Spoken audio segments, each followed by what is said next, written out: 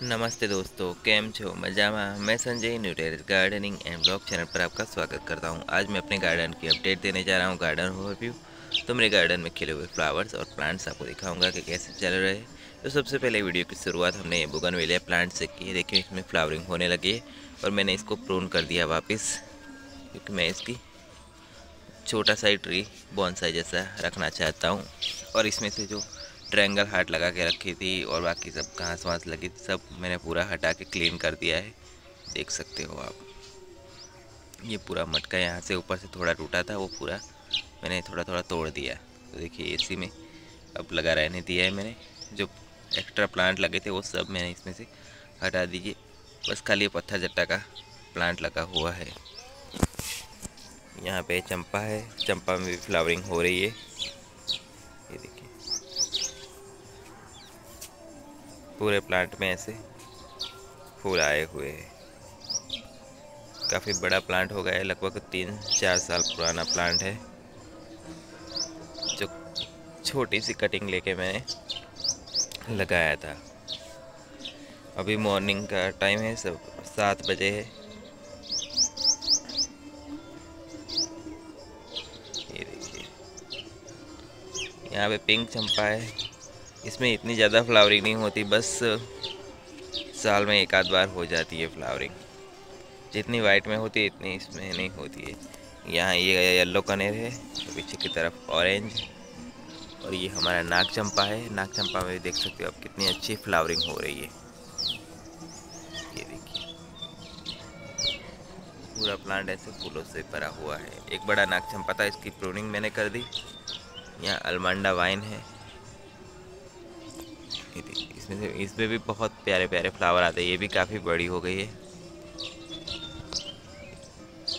अब सर्दी आएगी तो इसका डोरमेंसी पीरियड आएगा धीरे धीरे करके। इसकी पत्तियाँ सारी गिर जाएगी।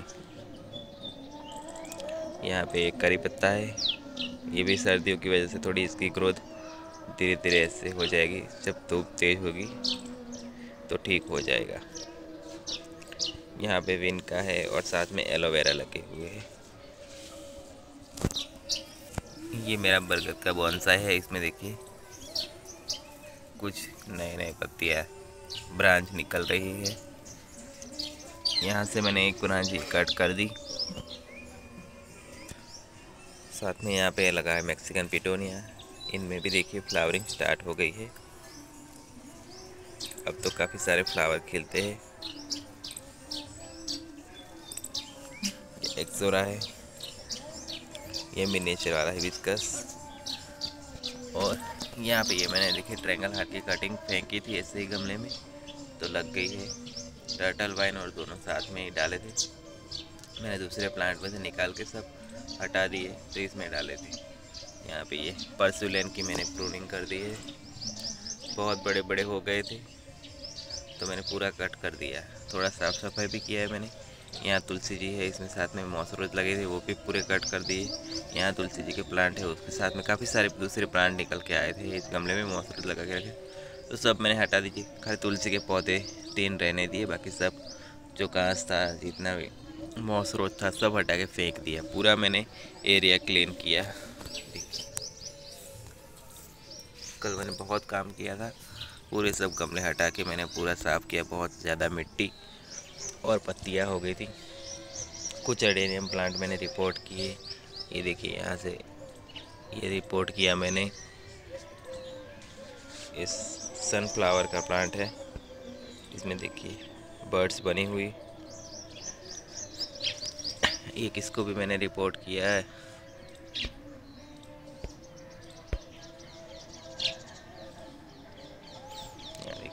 मेरे लगभग सभी अडेने में इस टाइम कलिया बन रही है।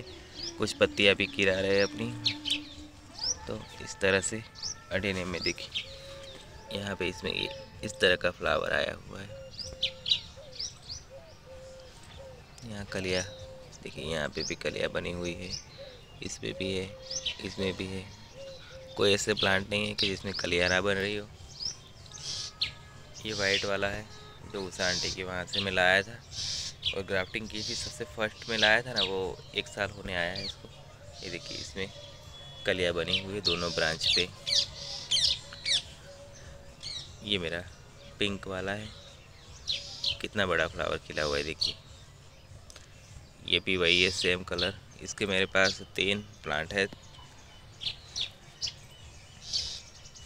और इधर सारी ग्राफ्टेड अडेनियम में है, जो मैंने दो महीने पहले क्राफ्टिंग की थी। और इसको तो मैंने एक ही महीना हुआ है, फिर भी इसमें देखिए कलिया बन रही है। और ये सब देखिए, दो महीना जितना हुआ। और इसमें देखिए, यहाँ कलिया बनी हुई है। इसमें कलिया बनी हुई है। इसमें भी छोटी छोटी निकल रही है। और यहाँ पे बाकी सब सीडलिंग है मेरी। जो सीडलिंग मैंने लगाई थी रिपोर्ट की थी एक में।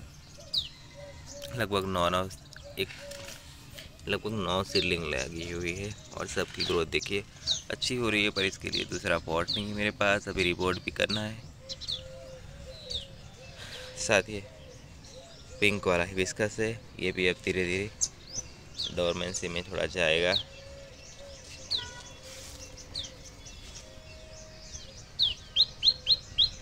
ये कनेर है। कनेर में इस टाइम फ्लावरिंग अच्छी हो रही है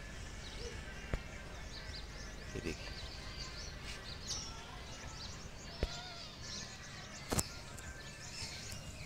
यहाँ पे भी कनेर के जो गमले थे, उसमें से जितने भी मैंने जो गणेश बेल लगाए थे, साइप्रस वाइन, वो सब हटा दी और बाकी बहुत सारे प्लांट लगे थे, वो सब मैंने पूरे हटा के क्लीन कर दिए। देखिए, यहाँ पे भी, यहाँ पे भी पूरा सब ऐसे क्लीन कर दिया। और यहाँ पे और अडेनियम है, इसमें देखिए, अब कलिया बन रही है। और इसमें भी देखिए मौसरज कितने ज़्यादा है। इसमें से मैंने हटाए नहीं, अभी बाकी है। ये देखिए। इसमें भी अब इसको रिपोर्टिंग के बाद थोड़ी थोड़ी इसमें ग्रोथ अच्छी है और इसमें भी कलियाँ बन रही है, देखिए। इस प्लांट को मैंने रिपोर्ट किया है, ये वाले को। क्योंकि इसका जो गमला था, उस छोटा पड़ रहा था और प्लांट का कॉडेक्स धीरे धीरे इसका कोडेक्स बड़ा हो धीरे धीरे, इसीलिए मैंने इसको फिर बड़े गमले में, जो मैंने गमले बनाए थे, घर पे उस उसमें शिफ्ट कर दिया। इसमें भी कलिया बनी हुई है। अब देखते हैं रिपोर्ट किया है, कलिया खिलेगी या गिर जाएगी, पता नहीं। यहाँ पे इसमें भी कलिया बन रही है, इसमें भी देख सकते हो। और पीछे की तरफ़ ये कटिंग से लगा हुआ डेनियम में इसने पूरा गमला तोड़ दिया था तो इसको भी मैंने रिपोर्ट किया है।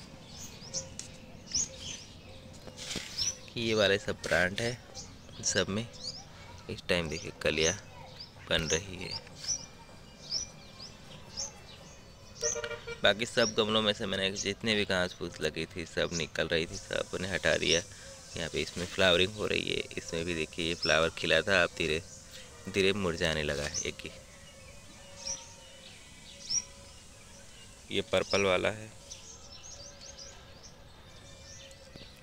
ये दो महीने पहले मैंने जो क्राफ्टिंग की थी वो, इसमें दूसरी बार फ्लावर खिले हैं देखिए ये। और यहाँ ये पिंक वाला है डार्क एकदम पिंक है। रेड कलर दिख रहा है रेड जैसा। कैमरे में थोड़ा पिंक आ रहा है। बाकी डार्क रेड और ब्लैक लाइनिंग है। पूरा फ्लावर ऐसे फटा हुआ है और बहुत प्यारा सा कलर खिला हुआ है। एक प्लांट पे मैंने तीन ग्राफ्टिंग की थी। यहाँ पे पीछे की तरफ़ प्लांट है, इसमें मैंने पाँच या छः ग्राफ्टिंग की है। देखिए, इनमें भी कलियाँ बन रही है। ये अलग है। देखिए, यहाँ पे भी कलियाँ बन रही है। इसमें भी ये वाइट वाला है। यहाँ पे भी मरून है। जब फ्लावर खिलेंगे, तब पता चलेगा कौन कौन से कलर खिलते हैं।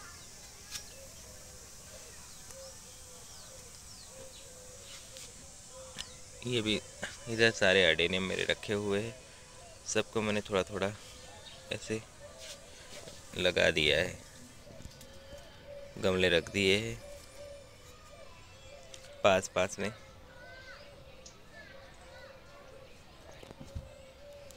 यहाँ पे ये सीडलिंग मेरी बाकी रहेगी थी रिपोर्ट करने की, वो तो भाई ऐसे की ऐसी ग्रोथ इतनी अच्छी ग्रोथ हुई नहीं। साथ में यहाँ पे जेट्रोफा है। जेट्रोफा में भी अच्छी फ्लावरिंग हो रही है। आप देख सकते हो।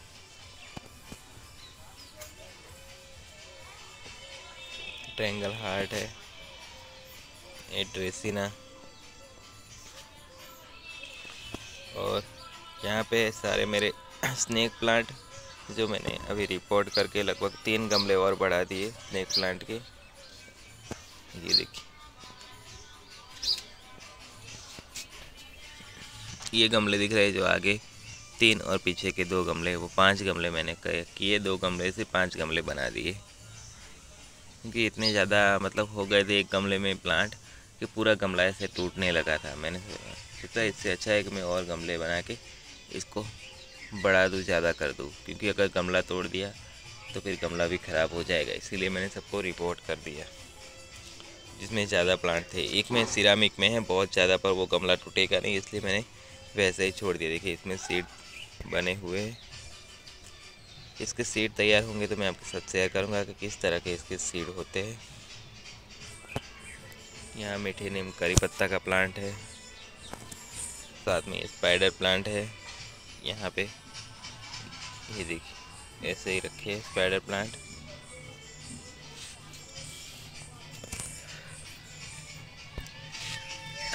ये मैंने कटिंग लगाई थी, कुछ सिंगल सिंगल पत्तियाँ।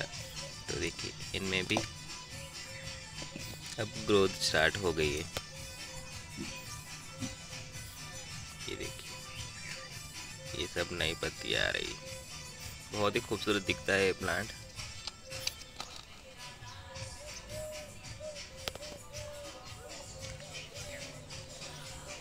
यहाँ पे ट्रेंगल हार्ट और है।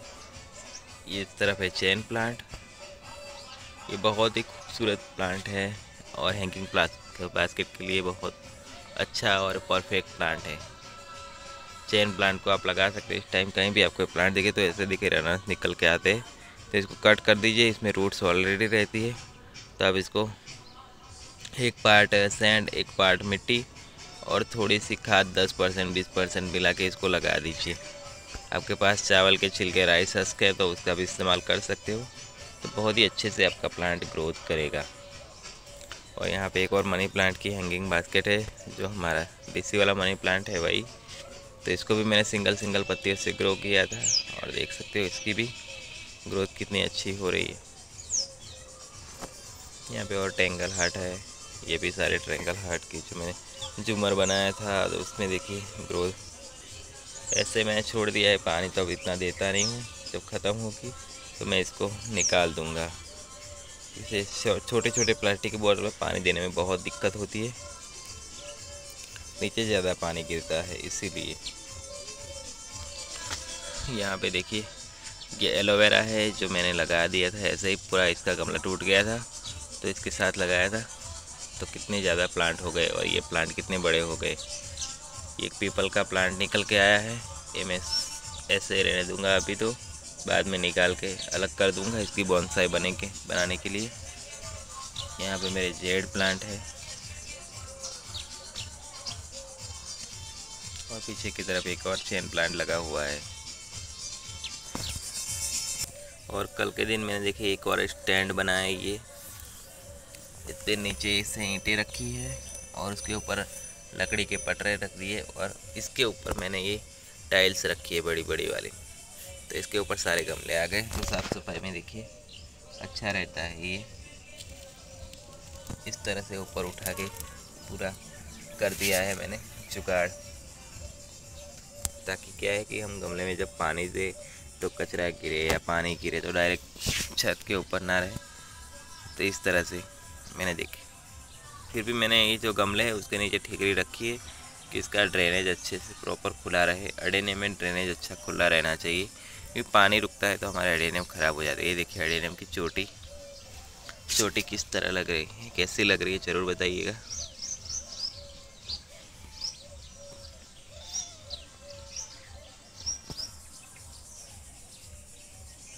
यहाँ पे इसमें भी एडेनियम देखिए, बेबी प्लांट है, इनको भी रिपोर्ट करना है।